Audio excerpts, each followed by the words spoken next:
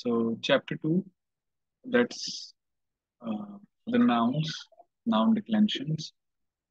Uh,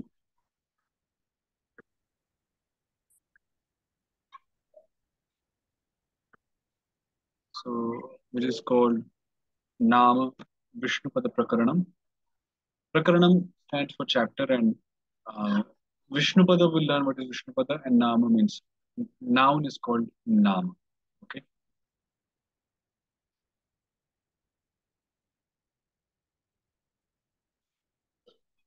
Prabhuji, uh, Sarvanam means pronoun, right? I'm sorry? Sarvanam, that means pronoun. Yeah, Sarvanam right? is pronoun. Yeah. So, Adhatu Vishnu Bhaktikam Arthavan Nama, Sutra 87. This sutra says that any word that has meaning except for dhatus and Vishnu Bhaktis is called a nama. So see, one is we have like nouns, then we have verbs, and then we have suffixes. So nouns are called nama, verbs are called dhatus, and the suffixes uh, are called Vishnu Bhaktis in Harinama Vyakaranam, and in general they are called Vibhaktis or Pratyayas. So here Jiva Goswami giving um, explanation or definition of what is nama. So he says that any word um, that has a meaning uh, and which is not a dhatu nor Vishnu Bhakti. So that word is called a nama. Okay. So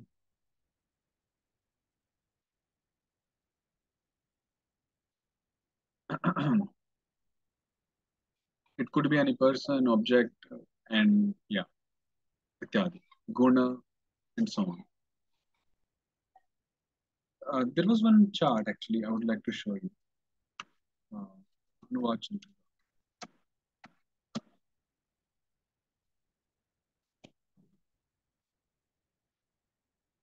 Just a second.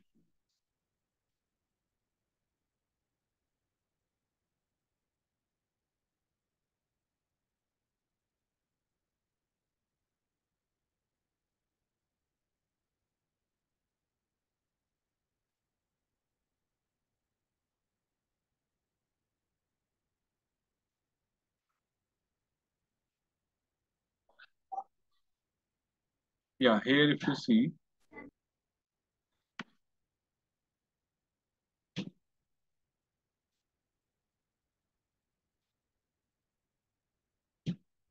hmm.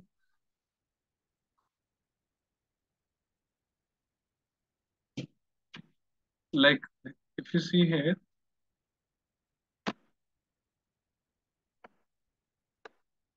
then the nouns, Sangya is noun, Sarvanam is the pronouns, and Visheshnas are the modifiers or they say uh, adjectives. So all of these, they come under the category of nam, nouns. This is verb.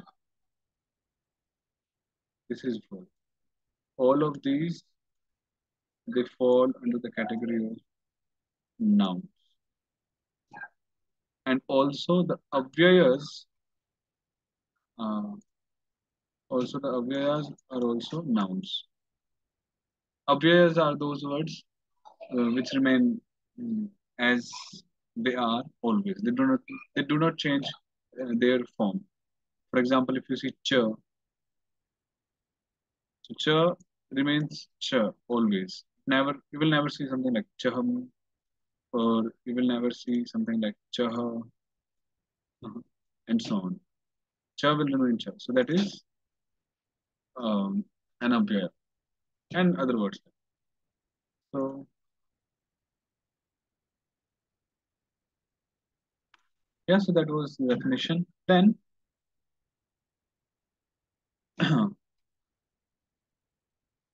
Prakriti Purva, Sutra 88 and Sutra 99, Pratyaya Parah. Okay. Now, the first part of a Vishnupada is called Prakriti. And the second part of a Vishnupada is called the Pratyaya. So I'll explain you here.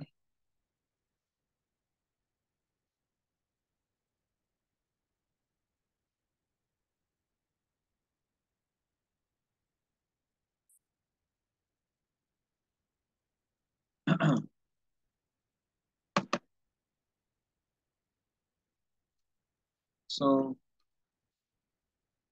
Prakriti and Pratyaya makes up a Vishnu Pada. Now Prakriti is the root word. It can be either a noun or it can be either the verb. And then we have the pratyaya, which are the suffixes. I explained it in the last class on Tuesday. And when we add them, when the declension is done, then we arrive or we derive rather the final form. So that final form is called the Vishnu Pada. So Prakriti is of two kinds. It can be either noun or verb. Suffixes are of four kinds. Uh, one is the Swadi Vibhaktis, other is the Tibadis, then we have the Kridanta Pratyayas, and then we have the Tadhita Pratyayas. Okay. Now, Swadi Vibhaktis are those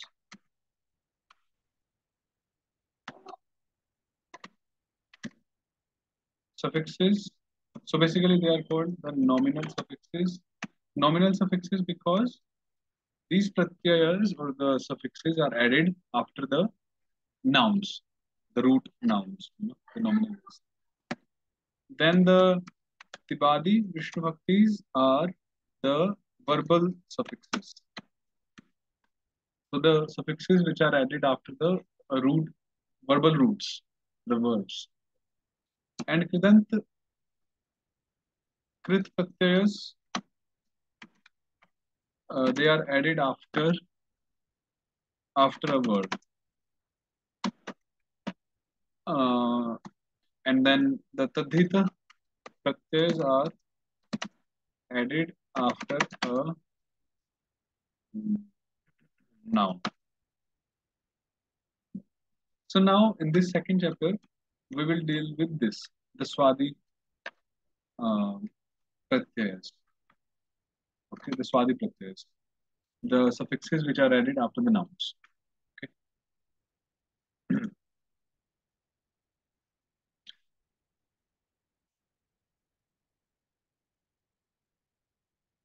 uh, just to show you an example, like for example, Krishna Yuktasu. So Krishna is the root word. It's a noun, but in its root form. It's not the final form. So it's that that root form is called Prakriti, and this Su is the Pratyaya, the Swadi Pratyaya, one of them. So by adding them, we finally get Krishna. Then example of this is, let's say Bhu, and then we have the Pratyati. So here Bhu is the verbal root, Prakriti, and Tit is the verbal suffix, one of them. And then finally we get Bhavati. How we get Bhavati, that we learn in the chapter, chapter 3. And Krit example for this one is, let's say, we have the Dhatu Kri, and we have the Pratyaya Tha, so we get Krita. So Kri, kri is a verb, and Ta is a Krit Pratyaya, and we get Krita. Interestingly, now this Krita has become a noun.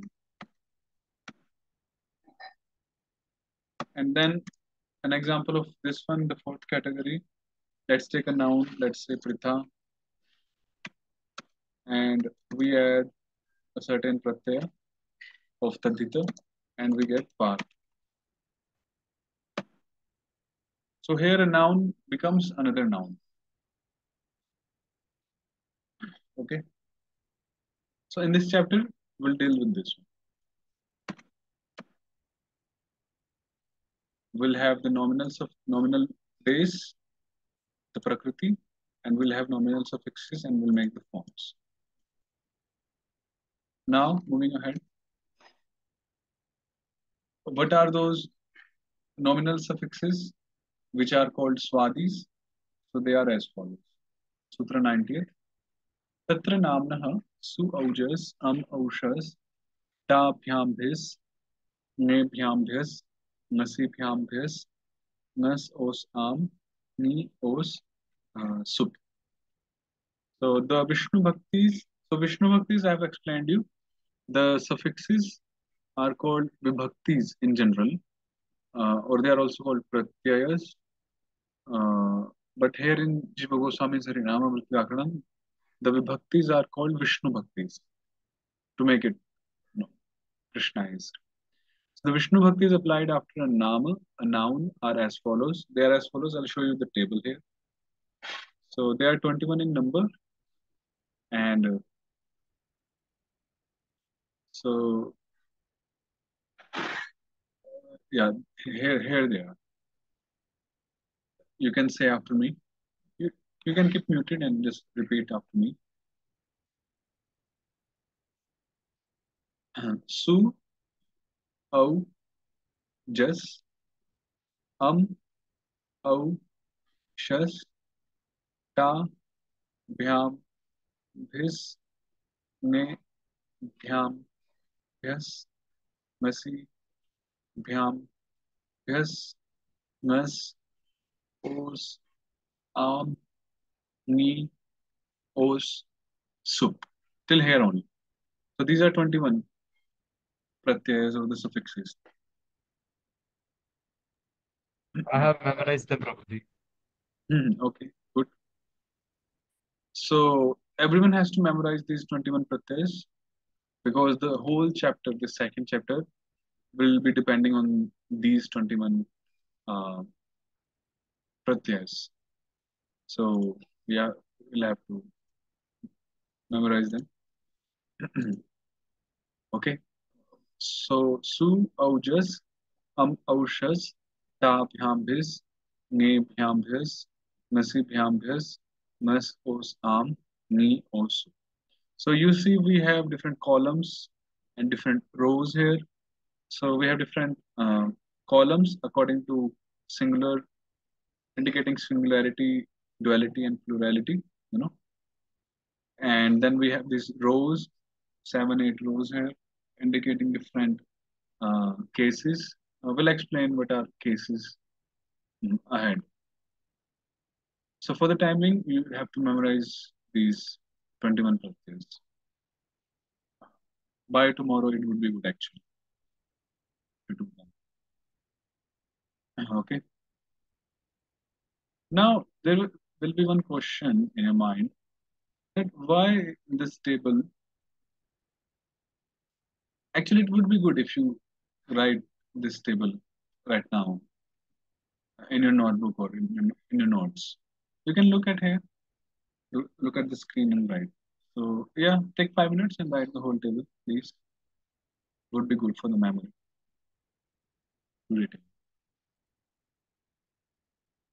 Please write.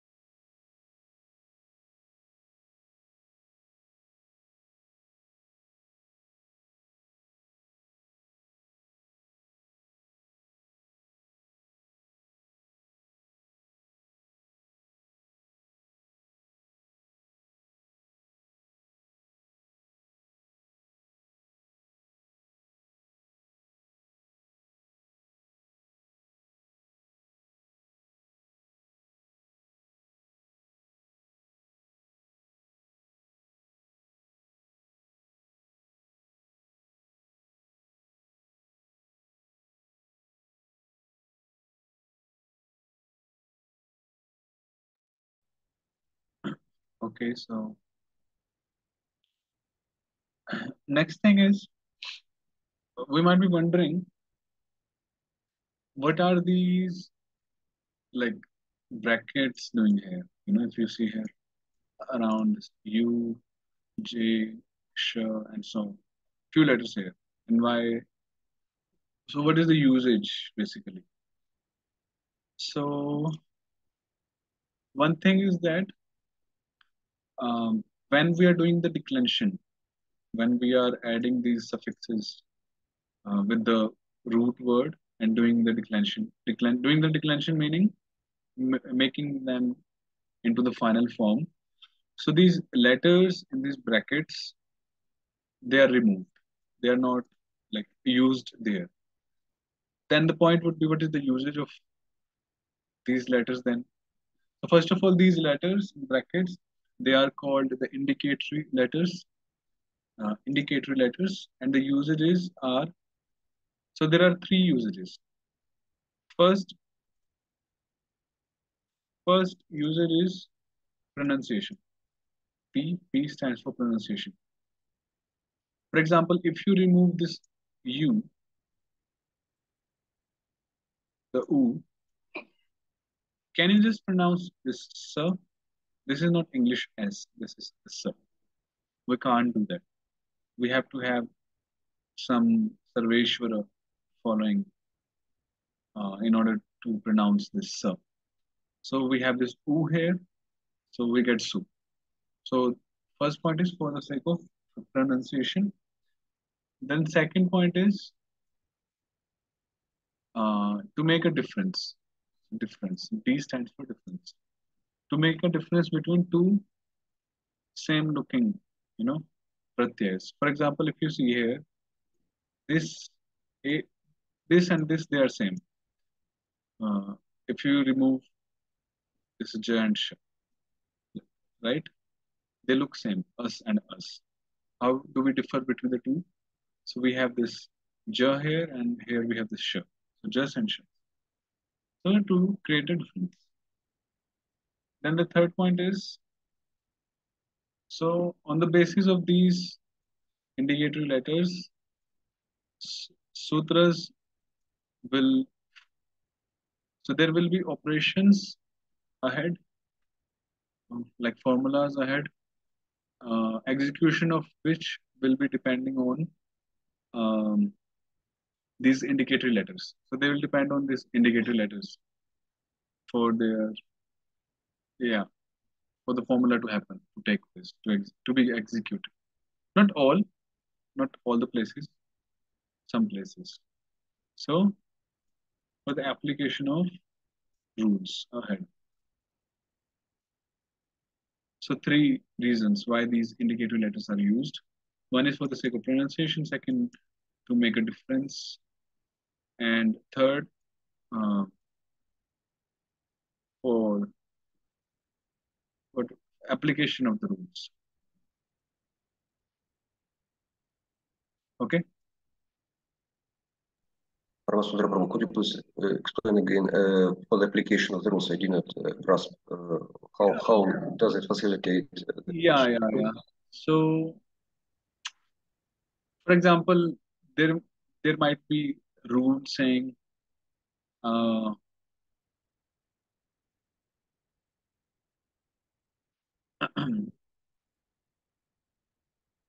okay, so so okay, all the pratyas with the indicatory letter nga, okay, they are called vrishnis in Harinamamrit Vyakarana. Vrishnis.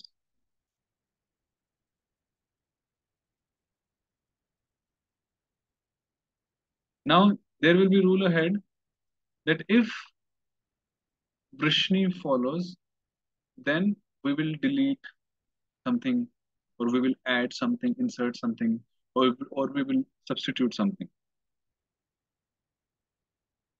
See, you see, so when we say Vrishni follows, then it means either of these pratyas following. Uh, perfect. Thank you. Thank you so much, Professor. Now, now I see. For Rishnis, this is what uh, need is in uh, Panini, yes? Or Uh, I don't know about Panini. We'll have to see. oh, okay, okay. Sorry. Uh, yeah. So like that. I can share a file where the equivalents are given for Panini and Harinamamrit Vyakaranam. So I can share that file I have. Anyhow,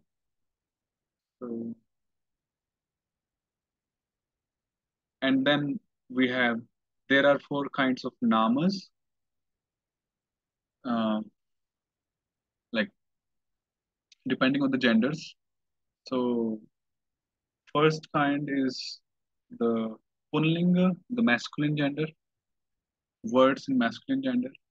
So the nouns they are they lie in different genders. Right? All the words they are categorized into different genders. So genders are of three kinds. One is masculine, feminine, and neuter. So masculine is generally known as Punglinga, but in Harinamamrit Vyakaranam, it is known as Purushottam Linga. Then the feminine is generally called Strilinga. In Harinamamrita, it is called Lakshmi Linga. And the third one is neuter, which is Napunsaka Linga in general, and Brahmalinga in Harinamamrita Vyakaranam. And there is also one fourth kind, uh, which is like, uh, which is Avyaya. So it is called Avyaya, all the places. Avyaya. Uh, so your homework, uh, an urgent kind of homework is, you will have to memorize this whole set of pratyas, 21 in numbers. This last one, uh, you can memorize, but they are the same as the first row actually. Swojas and swojas. So these are actually 21 in number. So do memorize this by tomorrow, please, because otherwise there will be no use of moving ahead without memorizing these pratyas. Okay. So, and also tomorrow I'll share the result, the marks. So today we'll stop here. Uh, anything here for this chapter? Uh, this is a new content. uh, I have a doubt. Uh, you were you were mentioning about Vrishnis, right? Um, that only refers to these uh, four Ekavachanas, right?